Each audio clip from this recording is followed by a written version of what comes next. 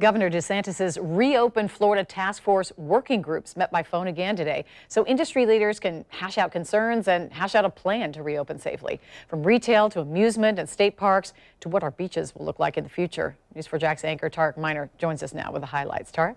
Well, it's safe to say that when all of Florida's industries reopen from the coronavirus pandemic, they will ease back into business with caution, as we're seeing on our beaches. Speaking today to other Florida mayors and beachside resort owners, Jacksonville Mayor Lenny Curry talked about how limited beach access is working right now in Duval County, and the task force members supported his ideas and are now considering using what Jacksonville did to reopen our beaches as a state model in the coming weeks.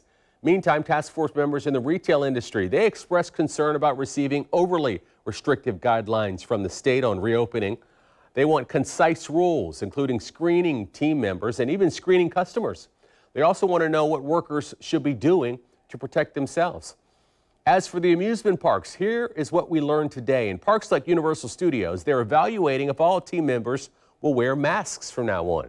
They're going to increase overnight cleaning and disinfections and they're going to use virtual line technology to limit the long lines. Capping attendance is another thing they're going to do when they open up. And as they gain confidence, they're going to gradually add more attendance into the park. Now, one of the main concerns of all of the industries represented in today's phone calls is the fact that they want legislative protection against frivolous coronavirus based lawsuits. This is one of the critical issues facing businesses, and it affects all of us, whether we're in the tourism industry, or the general businesses, or construction. And I know yesterday that Senator Brandes tweeted out a remark that he's going to draft le- legislation that would shield Florida from job killing frivolous lawsuits. And I think that's essentially important right now.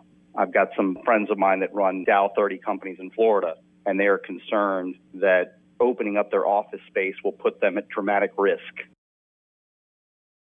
Industry leaders also talked about opening state parks, concerns about construction, and concerns in the transportation industry. Now, all these recommendations are going to be presented to the governor by Friday afternoon.